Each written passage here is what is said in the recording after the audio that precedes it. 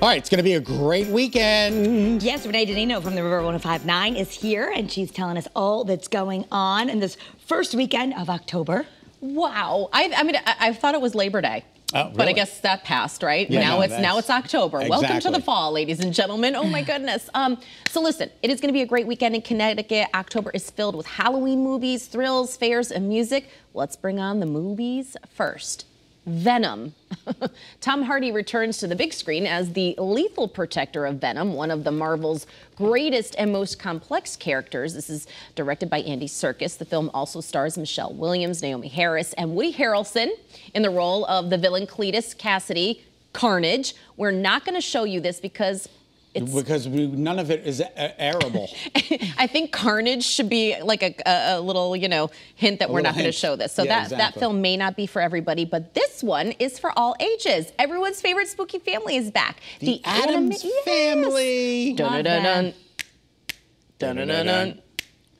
Dun-dun-dun-dun. All right, well, anyway, you got it. The animated comedy sequel, The Addams Family 2, is all new. Uh, you can find Morticia and Gomez distraught that their children are growing up too fast. You can relate to this, Kara, right? And to reclaim their bond, they decide to cram Wednesday, Pugsley, Uncle Fester, and the crew into a haunted camper to take a trip around America. I mean, what could go wrong for one last miserable family vacation? Let's take a look.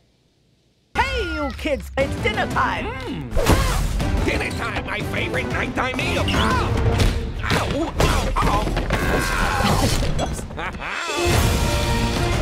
Does nobody come in through the front door? Dearest mother and father, we will not be attending this evening's ritual mastication. What? They're both growing up so fast. They wouldn't be caught dead with their parents. Wait a minute. What? I've got it, Tish. It's cute. I can't wait to see it. So uh, it is in theaters this weekend. It's also on some streaming services. Okay, it's sure to be a busy fall weekend here in Connecticut. Scott, we are counting on you for some good fall weather. I think we're going to come through. Thumbs up for that. Here are a few things to check out. Now the Big E wraps this weekend I can't with believe it's, it's going to be over. Three weeks, right? And it's finally done. And the music acts to wrap it up are great. The Goo Goo Dolls are tonight, and Sunday it wraps up with classic rockers Styx. Can you believe that?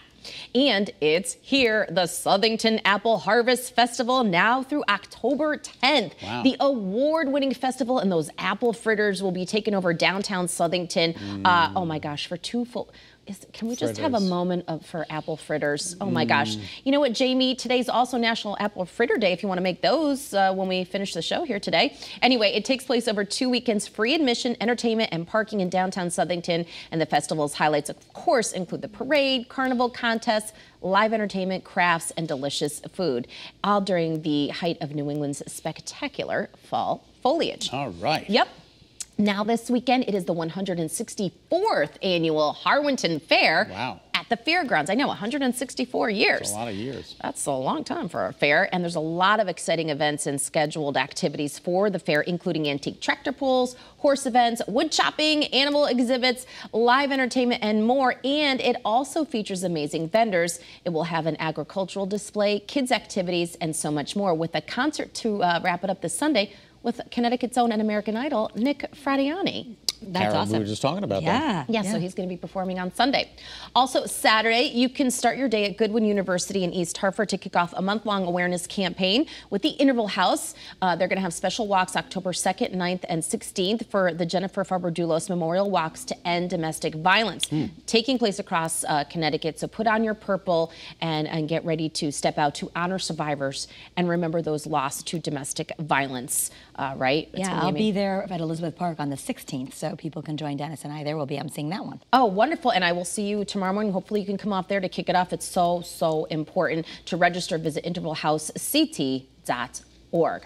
All right, people and pets. You know, I got to throw that in there. Uh, tomorrow at noon, you can join D'Esopo Funeral Chapel in Wethersfield. Uh, they're going to be doing an animal pet blessing. This is going to be a fun event. So you so can get, cute. yeah, bring your dog. Everybody has to be on a leash, though, even your cats.